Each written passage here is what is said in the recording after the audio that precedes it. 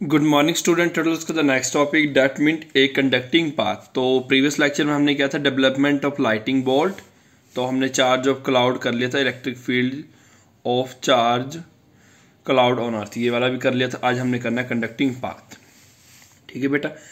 S mention अब जैसे कि बेटा ऊपर बताया हुआ है कि the bottom part of the cloud become negatively charge ठीक है बेटा? मैंने आपको प्रीवियस लेक्चर में बताया था कि जो ये वाला पार्ट होता है, नीचे वाला, इस पर कौन सा चार्ज आ जाएगा? Negative negative negative negative negative charge आ जाएगा। और ये जो हमारे जो अर्थ सरफेस होता है, ये, या हमारे जो अर्थ सरफेस है, ठीक है? उस पर जितने भी चीज़ें प्रेजेंट उन सब पे क्या आ जाता है पॉजिटिव पॉजिटिव पॉजिटिव चार्ज ठीक है बेटा?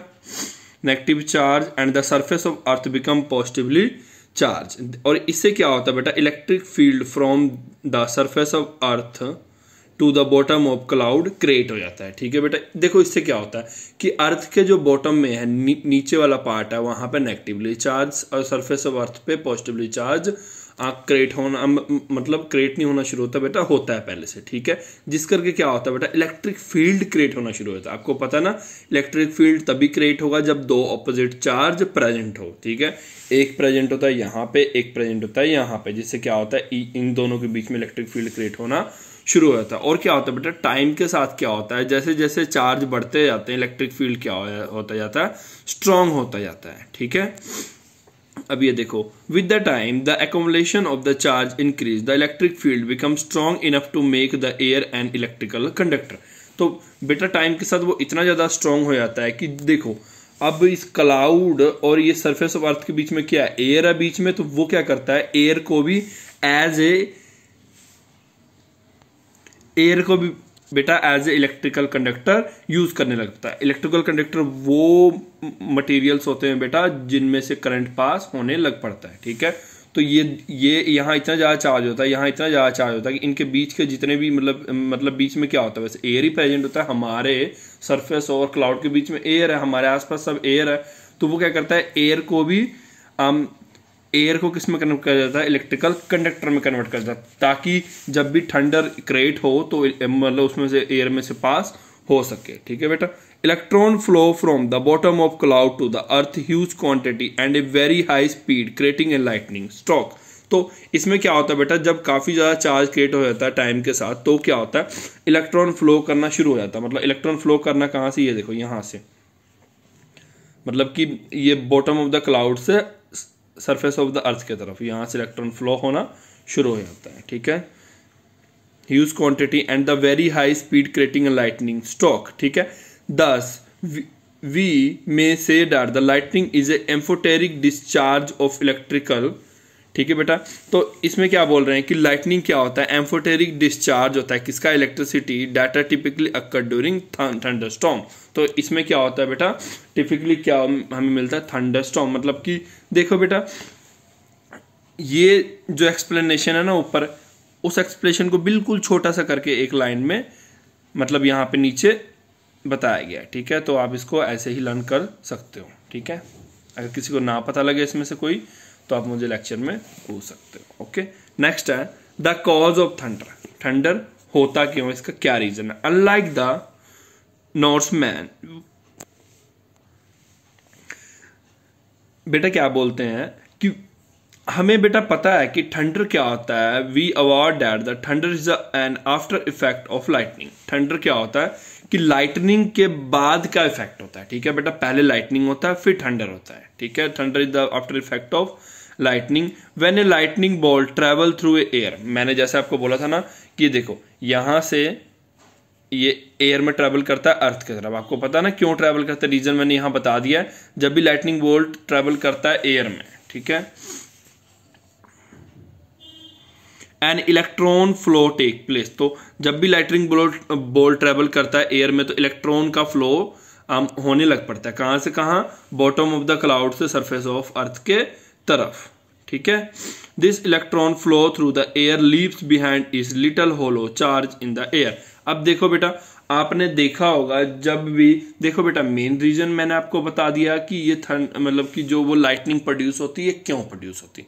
वो मैंने आपको बता दिया ठीक है? आपने देखा होगा ज, जब भी बिजली चमकती है हम हिंदी में तो बिजली चमकना कहते हैं और इंग्लिश में लाइटनिंग कहते हैं। जब भी बेटा लाइटनिंग होता है तो आपने देखा होगा कि पी, पीछे एक लाइन सी छोड़ की जाती है। मतलब कि जब भी लाइटनिंग होगी आप देखोगे स्पार्क सा प्रोड्यूस होता है लाइन सा प्रोड्यूस होता है। ठीक है? तो ये उसी के रिगार्डिंग बोल रहा है the electron flow through the air leave behind little hollow channel in the air after the electron flow over जब भी इलेक्ट्रॉन का फ्लो ओवर हो जाता है the surrounding air rushes back to the री their hollow channel due to the pressure difference अब देखो बेटा, मैं आपको इसका सिंपल मीनिंग यहाँ समझाता देखो, जैसे ही मतलब क्लाउड के बॉटम सरफेस की तरफ़ इलेक्ट्रॉन फ्लो होना शुरू होगा तो इसमें क्या होगा? अब देखो, आप आप आप देखते हो ना, जब भी लाइटनिंग होती है, ऐसे ऐसे मतलब कि लाइन सी बनती है, वो भी काफ़ी लाइट सी लाइन बनती है, हमें दूर से दिख जाता है कि वहाँ पे लाइटनिंग हो रही है, ठीक है?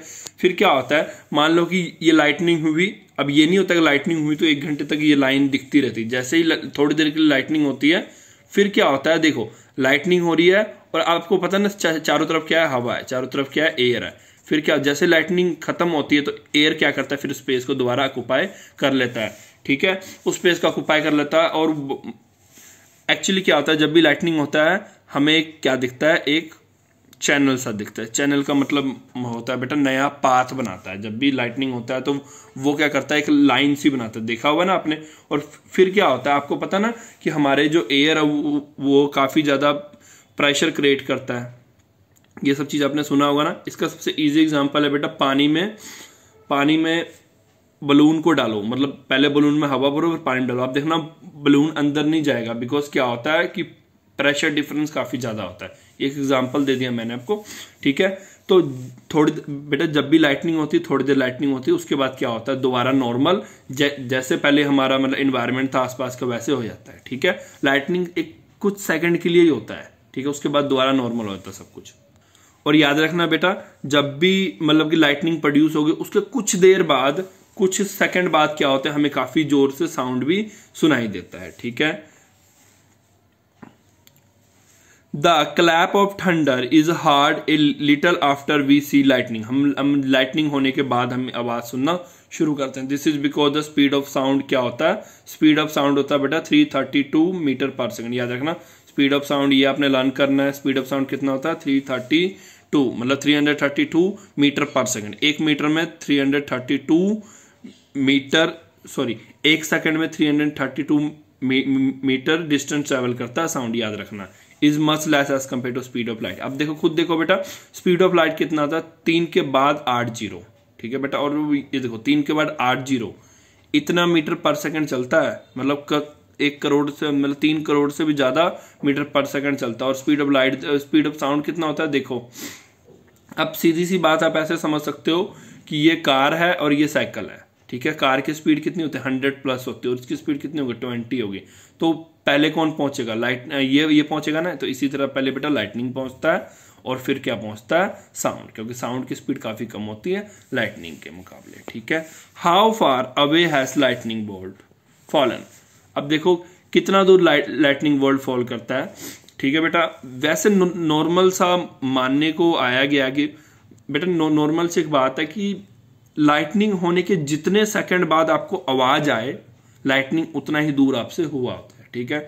यह हम मानते हैं कि लाइटनिंग होने के जितने सेकंड बाद हमें आवाज़ आता है लाइटनिंग उतना ही दूर होता है। When you see when you see dark cloud in the sky जब भी आप डार्क क्लाउड देखते हो स्काई में you may effect the lightning of follow soon after wood and if hear thunder the lightning bolt has fallen somewhere near पे. ठीक है बेटा? और याद रखना अगर आप आवाज़ सुनते हो थंडर की अगर आवाज़ सुनते हो, इसका मतलब ये होता है, कहीं आसपास क्या हुआ? कि लाइटनिंग गिरी हुई है. ठीक है? लाइटनिंग गिरी है. हम कहते हैं ना, बिजली गिरी बिजली गिरी, उसे बोलते हैं. ठीक है?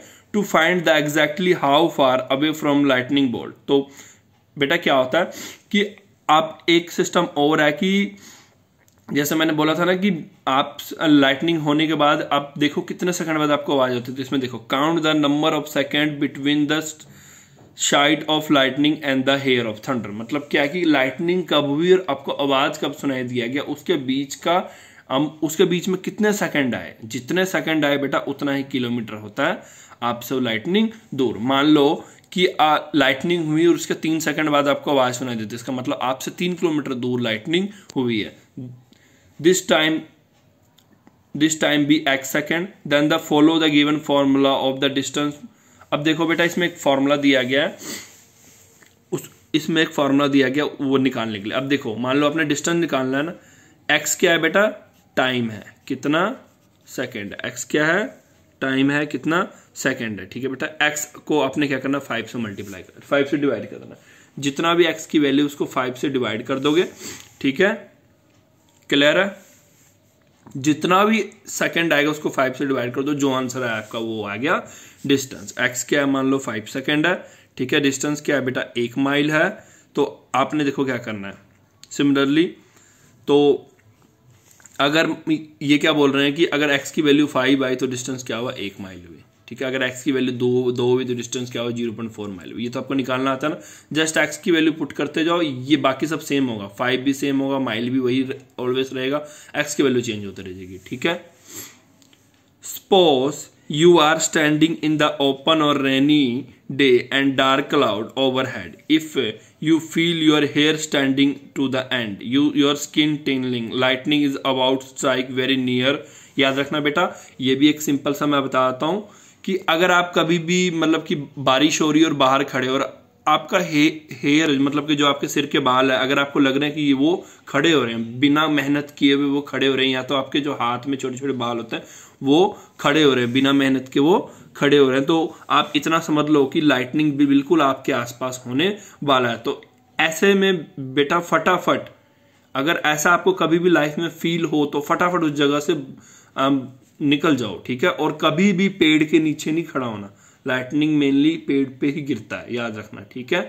कभी भी पेड़ के नीचे नहीं खड़ा होना, और अगर आपको कोई ऐसा लग रहा है तो फटाफट देखो आसपास कहीं घर है तो उस घर में जाके बैठ जाओ, ठीक है?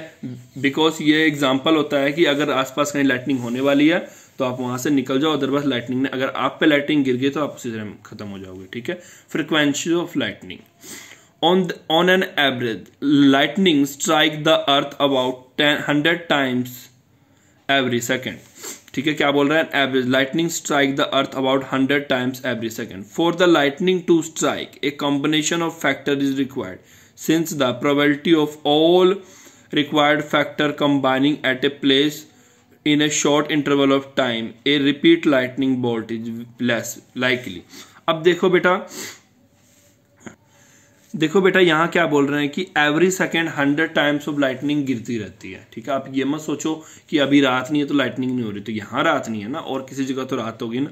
और हो सकता है कि ज़रूरी नहीं लाइटनिंग रात में हो, दिन में भी लाइटनिंग होती है, ठीक है? तो ये ऑलवेज गिरते रहते हैं, और इसके लिए बेटा कई सारे फैक्टर्स होते हैं, वो हमें देखना पड़ता है कि लाइटनिंग कब गिरेगी, कैसे गिरेगी, कितने बार गिरेगी, ठीक है? We can not prevent the lightning from striking हम हम कभी भी लाइटनिंग को स्ट्राइक करने से नहीं रोक सकते. We can not even alter its direction ना ही हम इसका डायरेक्शन बदल सकते हैं. We can only take the following precaution to ensuring the safety of tall building has the मतलब देखो बेटा, ना तो आप लाइटनिंग को गिरने से रोक सकते हो, ना तो लाइटनिंग का आप जगह चेंज कर सकते हो, ठीक है? तो इसके लिए आप सिर्फ़ एक चीज़ कर सकते हो प्रिकॉशंस ले सकते हो, अपने आप को बचा सकते हो। तो आपने एक चीज़ देखा होगा कि लाइटनिंग रोड्स आपने एक चीज़ देखा होगा अब आसपास अगर आपके मोबाइल टावर है उसके ऊपर देखना एक आ, मतलब मतलब कि रोड सी होगी। त्रिशूल देखा है ना आपने? त्रिशूल शिव जी का त्रिशूल। उसी टाइप का रोड सा होगा। या तो आ, वो क्या होता है बेटा? अगर कभी भी इन फ्यूचर लाइटनिंग गिरे और वो रोड एक वायर से कनेक्ट होता है और वो वायर सीधा ही अर्थ से कनेक्ट होता है। ठीक है? आपने कभी भी देखा होगा कि उसके ऊपर, सबसे ऊपर रोड होगा और रोड के साथ एक मेटल की स्ट्रिप मतलब कि वायर होती है और वायर को सीधा ही अर्थ के अंदर डाला होता है, ठीक है? इन फ्यूचर कभी भी लाइटनिंग गिरेगी तो उस रोड पे गिरती उस रोड से होते हुए, उस वायर से होते हुए वो अर्थ में चल जाता और उस प्लेस को, उस घर को या उस मतलब बिल्डिंग को या उस टावर को कोई नुकसान नहीं पहुंचाता है, ठीक है? Lightning rod is pointed metal rod have a diameter दो से तीन सेंटीमीटर का होता है वो rod this rod is connected to the thick copper wire ठीक है? The other end of the rod connected with the wire which has buried ये देखो ठीक है, मैंने बोला ना कि सब, सबसे ऊपर ये वायर होता है, दो से तीन सेंटीमीटर का, उसके साथ कॉपर वायर जुड़ा होता है, और जो वायर क्या होता है अर्थ के अंदर, आठ से दस अंदर मीटर अंदर उन्होंने डिग किया होता है, ठीक है? We know that the metal और the aluminium is an external good conductor of electricity ठीक है? इन अदर वर्ड ये हमें पता है कि मेटल और ये हमें पता है बेटा कि कॉपर और अल्मोनियम क्या एक्सटर्नल को गुड कंडक्टर ऑफ़ इलेक्ट्रिसिटी और इन अदर वर्ड अगर हम बोले तो the electrical resistance of copper और एल्मोनियम इज़ वेरी लो ठीक है? इलेक्ट्रिकल रेजिस्टेंस वर्ड का मतलब होता है बेटा obstruction to flow of current मतलब करंट को फ्लो करने से रोकना। और एल्मोनियम और कॉपर में ये बहुत ज़्यादा कम होता है। Thus the lightning rod provide the low resistance part to the bolt lightning इसलिए क्या होता है बेटा, जो लाइटनिंग रोड होता है, वो जैसे ही लाइटनिंग गिरती है फटाफट उस वायर से होते हुए अर्थ में चल जाता है और उस बिल्डिंग को नुकसान नहीं पहुंचाता। ठीक है बेटा थैंक यू फॉर टुडे